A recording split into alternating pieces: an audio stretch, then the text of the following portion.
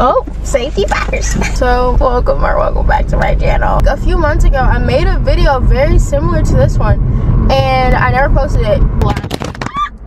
Ah! Are you kidding me, bro? Like you're shitting me.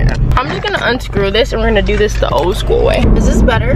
Oh, it's me and my camera steering, don't worry. Anyway, I've honestly just missed being able to just record. It's always honestly like the life of the party, bringing the camera, because you get to like, you know you'll be able to look back on the moments later on. I've been doing this YouTube thing since I was literally like 14. And my first video is still on the internet. I'm about to be 21, y'all. So I feel like I'm in that moment of where why am I not documenting my life? I was documenting my life from like 14 to 20, which yeah, those years were crazy.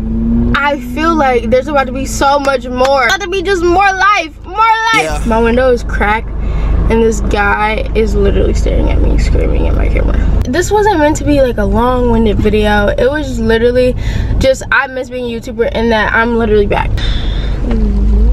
What is going on? I'm pretty much done.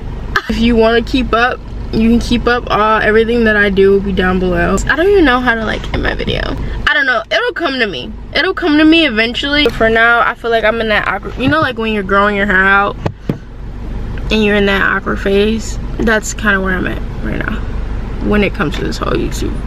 I'm just gonna stop.